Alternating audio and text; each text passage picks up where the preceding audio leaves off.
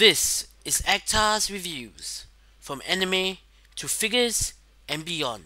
Hey, this is Actar and welcome to another episode of Actar's Merchandise Reviews. In this episode, it is my very first subscription box review. Holy crap! I can't believe that I was approached by Loot Crate to do a review of their loot crates. And not just any loot crate, but their loot anime subscription box.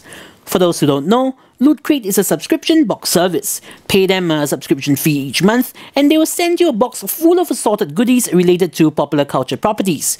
Usually, these monthly boxes have a certain theme, and the theme for this month's Loot Anime box is Squadron.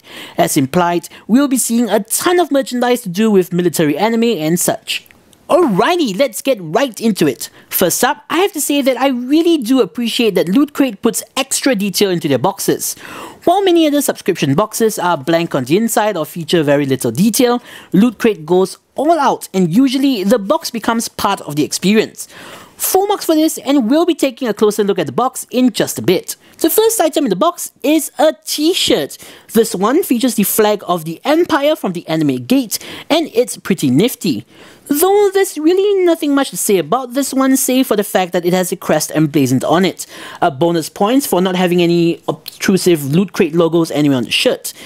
It is a simple design, but because it is simple, it works brilliantly. Personally speaking, I thoroughly enjoy these kinds of subtle and surreptitious displays of fandom as it makes it even more surprising and significant if someone is able to understand where the reference is from. For instance, I actually use Enoshima Junko's tie from Danganronpa as my work tie. Even if you're not a fan of the show, the crest's design is appealing enough to be worn and appreciated by anyone in any context. Moving on to the next item, which is also from the anime Gate, we have a very interesting multi-tool, keeping in line with the survival slash military theme of the show. It looks like a simple keychain slash strap, but in actuality, it's four tools in one. It's a steel carabiner, it's a bottle opener, it's a hex tool, and it has 5 feet of paracord. It's fitting, convenient, and useful, regardless if you're a fan of the show or not. Next up is my personal favorite item from the box, which is from the show Taimado Gakuen Sanjugo Shiken Shotai. It's Mari's signature scarf.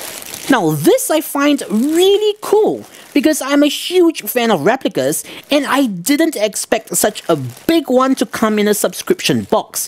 The size is great and while the stitching might be a little bit on the obvious side, it's a very nicely done replica slash cosplay item.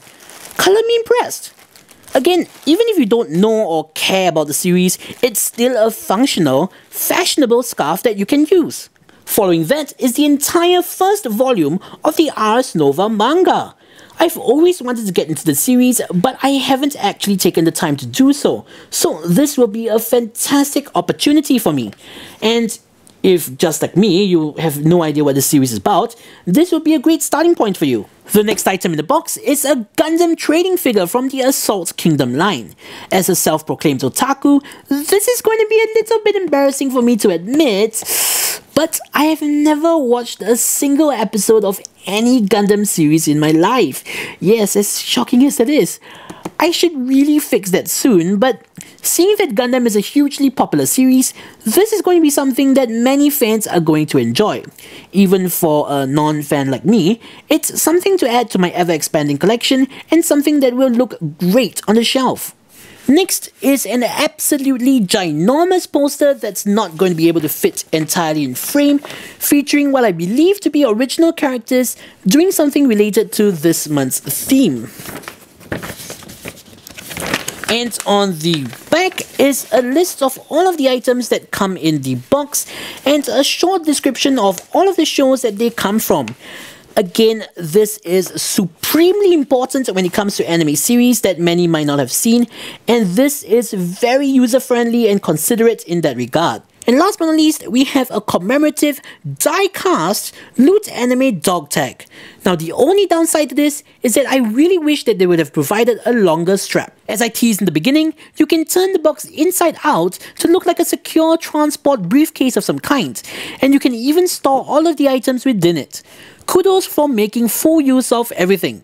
So in conclusion, I'm going to admit, right off the bat, that I was never a big fan of subscription boxes, as one of my main fears and one of the major downsides to subscription boxes is that you never know what you're going to get.